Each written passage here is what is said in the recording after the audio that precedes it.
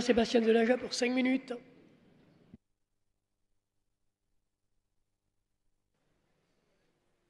Merci Monsieur le, Président. Mes chers collègues, le budget c'est un acte éminemment euh, politique, même si la technicité des décisions budgétaires occulte parfois cette dimension. Alors aujourd'hui, euh, nous débattons seulement d'une décision modificative qui opère essentiellement quelques ajustements techniques, justement, qui résultent néanmoins de choix politiques euh, assumés.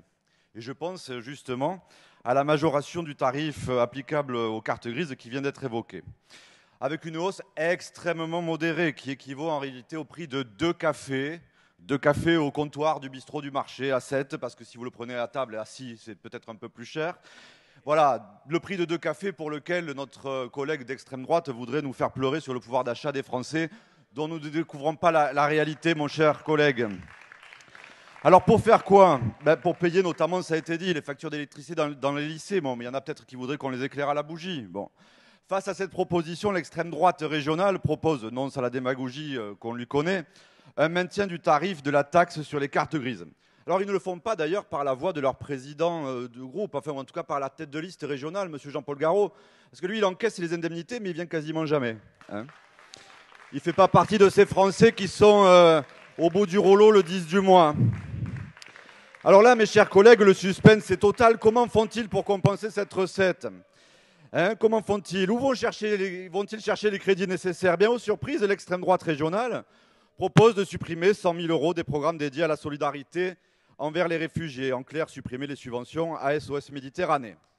Et quand font-ils cette proposition? Ils le font un peu plus d'un mois après une nouvelle tragédie, celle qui est survenue dans la nuit du 13 mai dernier, où 750 femmes, hommes, enfants, entassés comme des bêtes, comme le disait hier Jean-Pierre Sueur au Sénat, sur un bateau, ont péri en Méditerranée.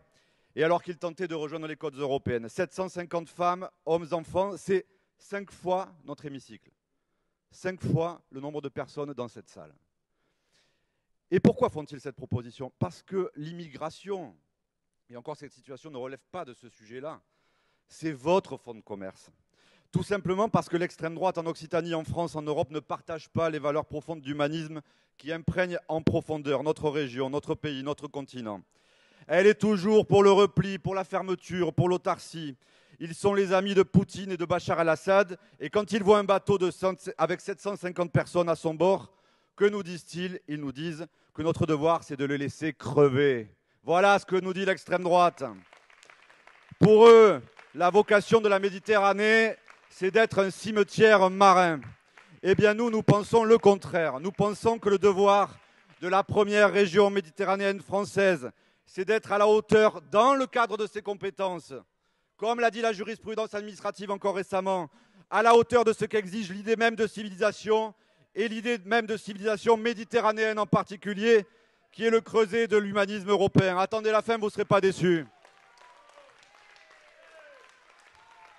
Et quand je vois, et quand je vois le sort réservé il y a peu à l'Aquarius, et ce que vous disiez de ce qu'il fallait que soit notre réaction, quand je vois le sort réservé récemment à l'Ocean Viking, je ne peux m'empêcher, Monsieur le Président, cher Didier, vous qui êtes si emprunt justement de cet humanisme méditerranéen, je ne peux m'empêcher de penser aux 4554 passagers de l'Exodus, rescapés de la Shoah, ce bateau parti de Sète, en juillet 1947 et auquel nous avons récemment rendu hommage dans le port de Sète, justement.